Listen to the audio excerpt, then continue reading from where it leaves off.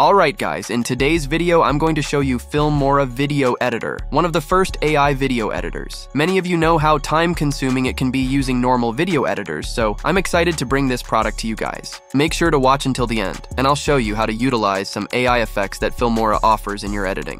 Let's jump right in. Don't forget to check out the video description to get the latest offers available for Wondershare Filmora, which is available across all major platforms like Windows, Mac, and phone devices. As far as pricing, you can use it under a perpetual plan or a monthly subscription, whatever you prefer. Now let me show you this tool. When opening Filmora, the startup window appears with your most recent projects and several operations to quickly start making videos. For instance, with Instant Mode, you can start working from ready templates. With Screen Recorder, you capture your desktop screen, webcam, and even your microphone. You can also choose AI text to video to generate videos from textual instructions, complete with images, background music, voiceover, and caption. In this video, we will see how to make videos from scratch with the AI support of Filmora Copilot where applicable. Go to New Project to start with a new project, setting aspect ratio above.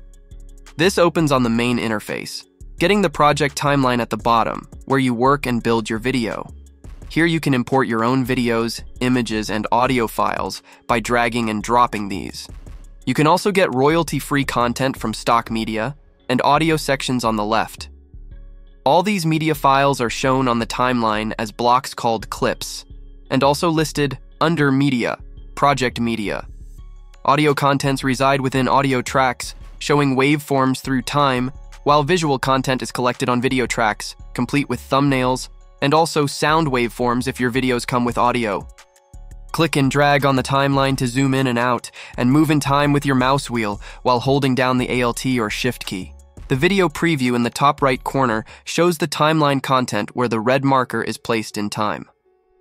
Click on the timeline or drag the marker to check different frames as you need. You can also press J for reverse playback, K to pause, and L to play forward, pressing twice or more to accelerate. Above, set the preview quality and go to Settings. Change project aspect ratio to set the preview aspect ratio, video resolution, and frame rate.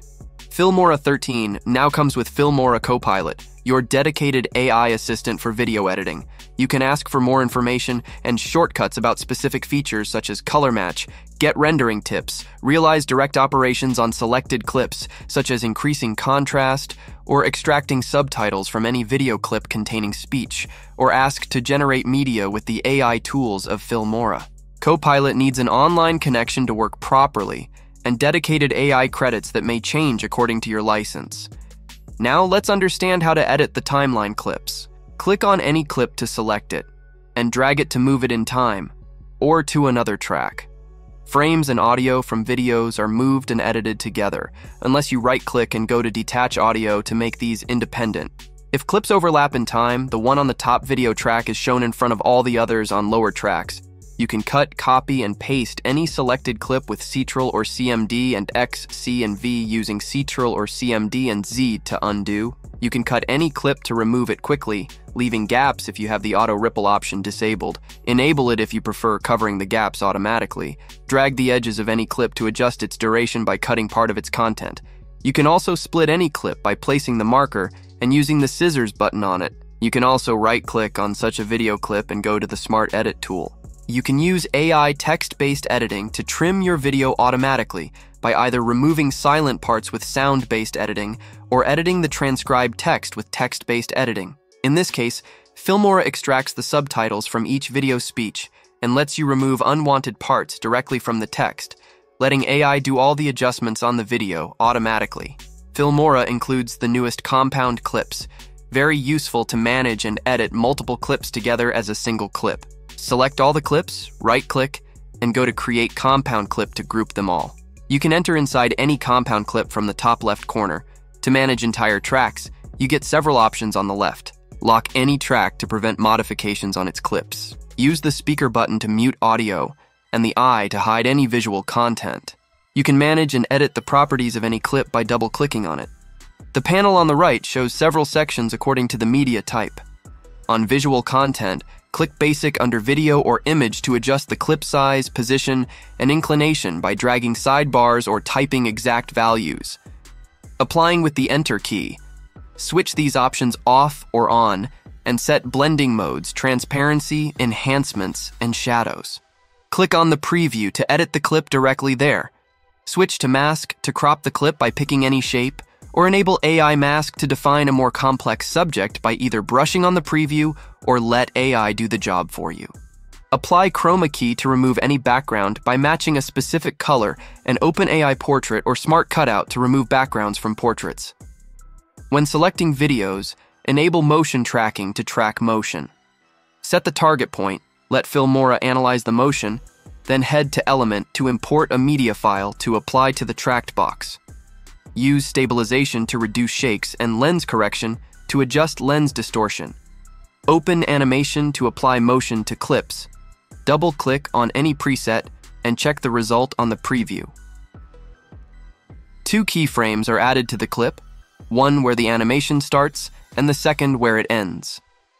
Move these in time to set their placement, as well as the motion speed.